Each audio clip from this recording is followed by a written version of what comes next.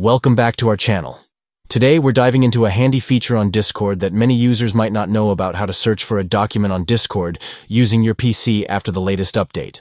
Let's get started. First things first, make sure you have the Discord app open on your computer. If you haven't already, log into your account. Once you're in, you're ready to go.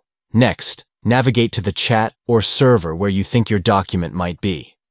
Discord is all about community, so whether it's a private message or a group conversation, it's essential to be in the right place to find what you need.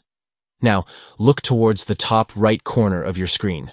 You should see a search bar. This is your tool for finding files quickly. Click on that search bar to enter your query. Here's where it gets interesting.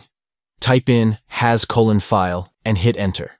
This command tells Discord to look specifically for media files shared in the chat. It's a neat trick that saves you a ton of time.